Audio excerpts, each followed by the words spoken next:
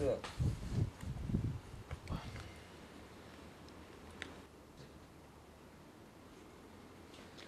Вот, значит, это почему огромный, огромная ширина заглазничного А, В России такая находка сделана второй раз.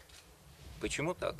А, Потому что э, первый э, череп целый пахикракуты, более целый, с нижней челюстью, был обнаружен э, в похожих по возрасту отложениях Забайкалья. А, Таким образом, у нас теперь в стране есть два целых черепа, и это дает возможность э, более подробно изучить это животное.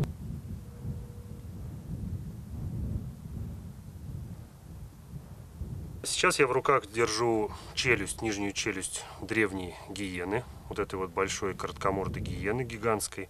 А чем же интересна эта находка нижней челюсти? Тем, что мы видим, что вот эти предкоренные зубы, они сильно стерты. А на месте коренного зуба, хищнического зуба, остается вот такой маленький как бы пенечек. А, Этот зуб она сломала при жизни. Она его сломала, она им больше ну, не работала, но это не помешало ей дожить до старости, потому что предкоренные зубы все достаточно хорошо стерты, она жила, питалась нормально. Это говорит о том, что эти гиены а, были очень хорошо адаптированы к костедроблению. Они именно пользовались своими премолярами, которые как раз раздрабливали, разгрызали, разбивали кости. Белый будут фотографироваться, и на них есть микроследы. И будут сравниваться с другими гиенами, других видов, других местонахождений. these things are rare, so uh, so it's a good find. Um, there are only a few s- fragments uh, of skulls known from from Europe. Um, the specimen is not the most complete European skull of uh, of this animal, Pachycocuta. Uh, ironically, the very first specimen found, uh, which was discovered in the 1840s, um, from a French site called Saint-Cel, uh, is actually more complete. So it, it is a complete skull. То есть, видите, у нее вот эти вот Премоляры очень предкоренные зубы очень мощные, очень крупные, большие, специально. Мы его потом реконструируем, он будет более такой э, целый и наглядный, но э, уже сейчас можно сказать, что он нам даст э, более глубокое понимание, например, э, эволюционных особенностей этого вида. То есть, э, кому она ближе к ранним формам своим или к более поздним, которые уже обитали в среднем плейстоцене. Протокол, я покажу. Форму протокола надо вот взять и обсуждать, смотреть. It- It's a it's a fascinating animal.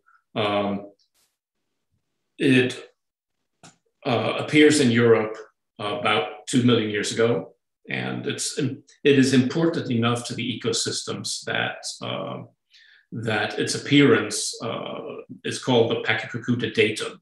So it's a very it- it's a very important time in, uh, in the evolution of the European fauna.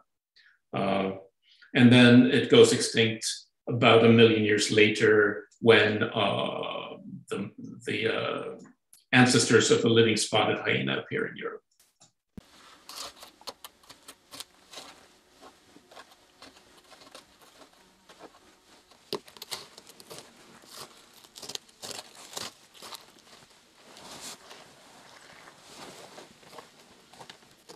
Ну, ну, вон косточка есть. В принципе, можно вот здесь заснять.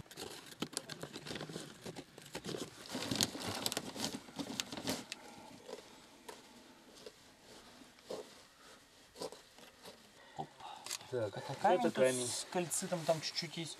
Ну, вот это, видимо, слон. Так, сейчас. Так, что мы видим? Да, это...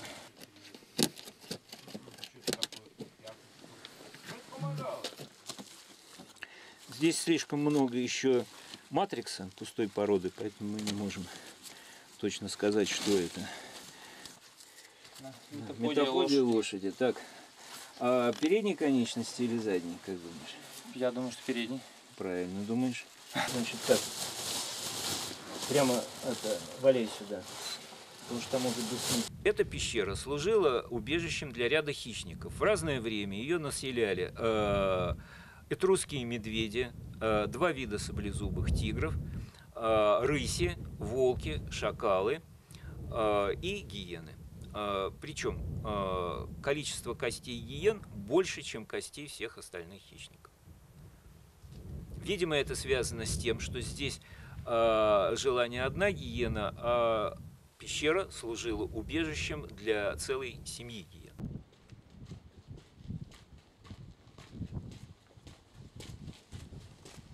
you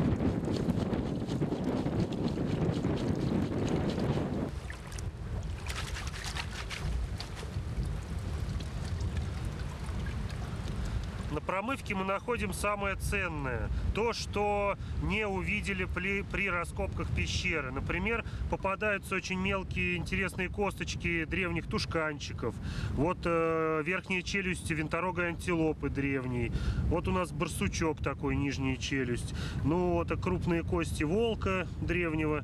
В принципе, даже есть э, какие-то грызуны. Зайцы и грызуны.